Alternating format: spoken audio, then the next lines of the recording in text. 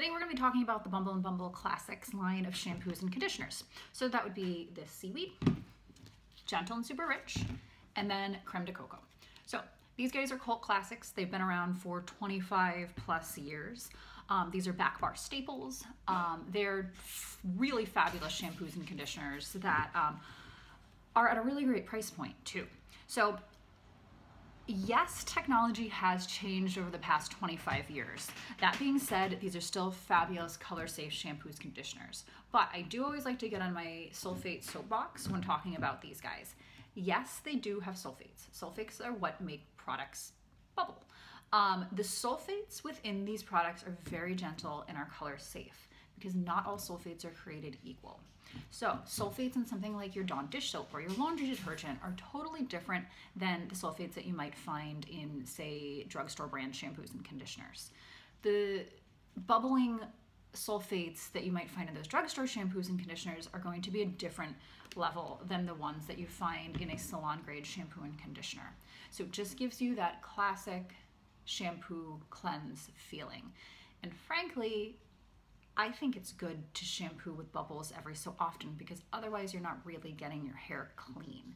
The only thing that can take out products that have silicones in it is going to be those sulfates and that's why clarifying or using something like these guys in your regular shampoo and conditioning routine is important. These might not be the main shampoos and conditioners you use, but um, definitely throw them into the mix every so often because you're gonna get a lot of buildup if you don't use a shampoo with something that really cleanses your hair every so often.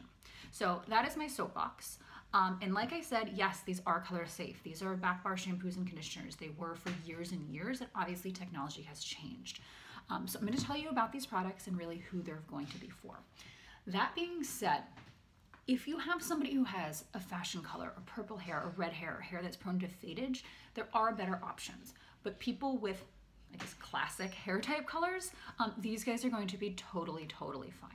So the seaweed shampoo and conditioner is going to be our most mild and gentle cleanse. So it is technically the lowest moisture out of the three.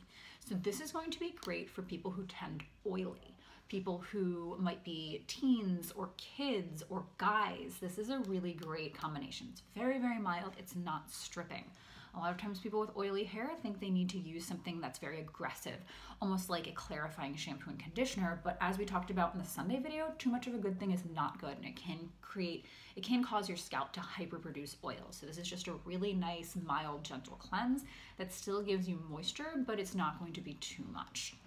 The next step up is gonna be gentle and super rich. So gentle and super rich, I feel like is a bit of a misnomer. It really should be called gentle and gentle. And like I said, it's a next step up from moisture. This would have been my shampoo and conditioner option if say Hairdresser's Invisible Oil didn't exist. So this is great for your everyday washers. It's great for people who might trend a little bit dry, um, but it is very much so. It should be called Gentle and Gentle. So don't let Super Rich fool you. Um, it's a really nice, gentle shampoo and conditioner. So say you're gym goers who have to wash their hair every day, this would be the product that I would recommend. The next step up in moisture is going to be creme de coco. So this is the most moisturizing out of the shampoos and conditioners within the classic line.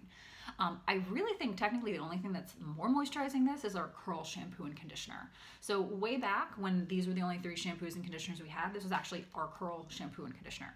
So it is butter-based moisture. This product is going to add weight and heaviness to the hair. So this is not for me. This is going to weigh my hair down. But for the people who do need some weight in their hair, this is a fabulous option. Um, remember, butter-based moisture, it's heavy, it smells like a beautiful tropical beach vacation, but if you have finer hair, it is not for you. It is for your thicker, coarser, frizzier hair types that need a little bit of weight. All right, so that is my classic shampoo and conditioners. Um, if you have any questions, leave them in the comments. Thank you so much.